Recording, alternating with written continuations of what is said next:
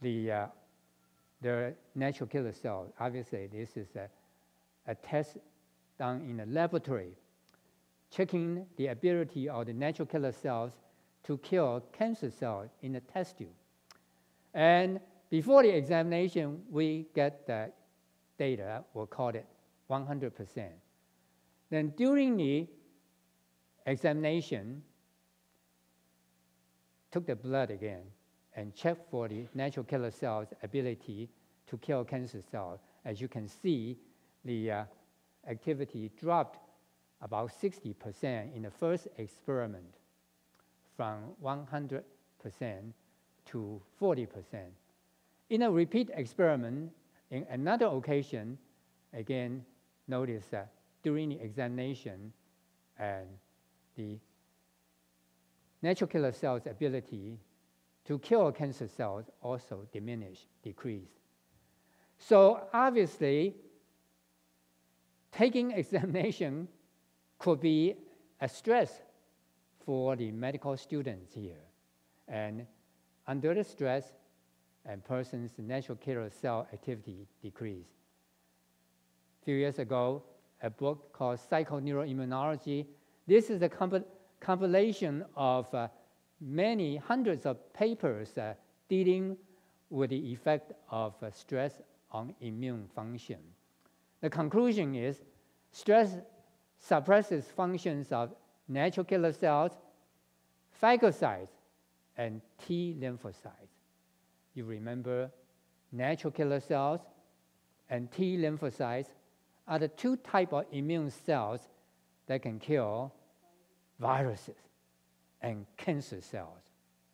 And the one is more versatile, as I mentioned before, is natural killer cells. Because natural killer cells does not wait for 10 days or two weeks to carry out its attack. As soon as natural killer cell encounters, let's say, a cancer cell, incidentally, all of us are constantly having cancer cells in our body. Our body, normal cell, will often turn into cancer cells. But if just a few cancer cells there, as soon as natural killer cell detects it, it will immediately attack these cancer cells.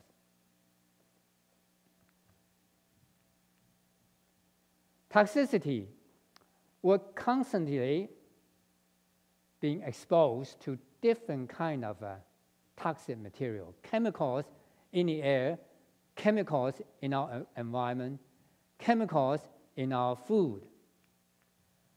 And we also, some of us, exposed to drugs. And uh, of course, recreational drugs, we all know, carries a detrimental effect on the immune function. Even over-the-counter drugs, many of them will impair the function of the immune cells. How about prescription drugs? Even prescription drugs will also have a negative effect on the immune system. Now, if we look at the literature or physicians' uh, desk reference, there is no section on effect on immune system.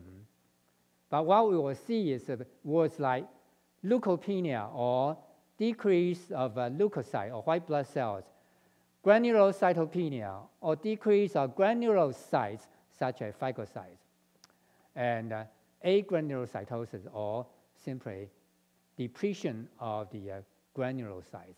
So all these words uh, will tell us and even uh, tell us that it has something to do with immune function. And of course, bone marrow hypoplasia, and will show that it actually suppresses the bone marrow function. So when people take drugs, I usually tell them, be sure, get the literature, get the insert from the pharmacy, or today you can actually look up in the internet. You'll find out what kind of adverse effect you may experience. This way you will know whether or not you're dealing with the side effect of the certain drug or you really have a, a illness. Now I want to turn our direction to the factors that will boost the immune function. And I want to introduce you at this point the, uh, let me see, the four E's. you can read the, the, the four E's. One, two, three, four, four E's. Four E's concept that we use in our practice. The four E's. The first E refer to eating. The emphasis here is smart eating. The second E refer to exercise. The key word here is enjoyable. The third E is elimination. You see, I mentioned we are constantly being exposed to different kind of toxic materials. So we need to eliminate these toxic materials from our body. Then the fourth E is emotional support. These are four E's eating, exercise, elimination, and emotional support. Eating here, we emphasize smart eating, meaning we want to have wholesome, unrefined, the least processed food. Wholesome, unrefined, least processed food. And of course, we want to drink plenty of water. When do we drink water? During the meal or in between meal?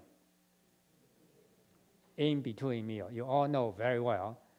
If we drink water during the meal, there's tendency that we will dilute our digestive juice or impair or slow down our digestion.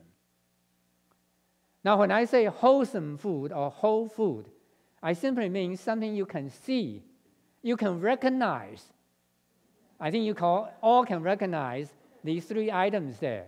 All right? Now, when you turn to packages like that, unless there's a label there, you may not know what you have there. Now, when it turn into bottle, unless a label there, you may not know what it is. So apple will turn to apple juice. Apple juice, of course, is very good.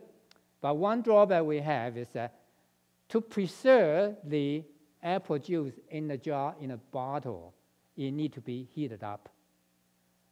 And heating often destroy all the nutrients and also will convert the natural fruit sugar into refined sugar.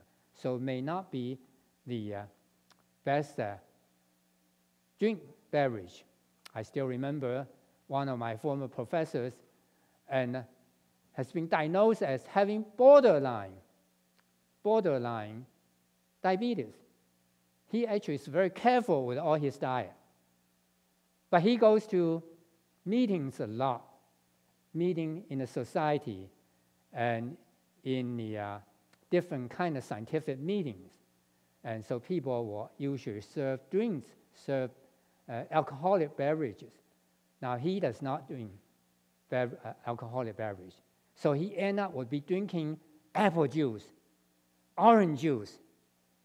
And in a few minutes, somebody will come over, give him another, another uh, cup or another glass of orange juice or apple juice. So as he told me, often in a meeting, he will drink six, seven glasses of uh, apple juice or orange juice. And orange juice is good. Apple juice is also very good. But obviously, these are not, not the squeeze, freshly squeezed juice. So he drank a lot. Every time when he went back to check his blood sugar, it's always borderline diabetes. So he wondered what he should do. Should he take medicine or should he do something so he came to see me. I told him, after I did the detective work, I said, let's see if uh, this, uh, all these juice uh, is your problem. I said, can you stop drinking this many glasses of juice, bottle of juice, for one month and, and check it again? Sure enough, after that, his blood sugar was normal. Now, potato chips. I think we, I like potato chips. So I'm showing the slide here. I'm not saying you don't, don't eat any of the potato chips, but just don't eat it every day, or don't eat it even every week. Once in a while, probably will be okay.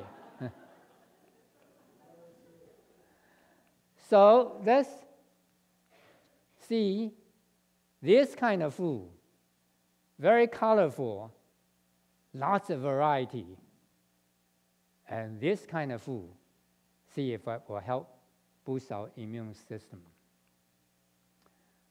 Here's a study comparing the uh, vegetarians and the meat eaters in, in their natural killer cell activity.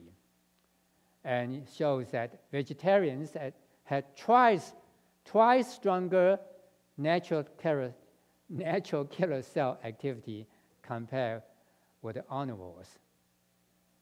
So as I said, I love natural killer cells. These are my friends. And uh, so you know how to keep the natural killer cells active.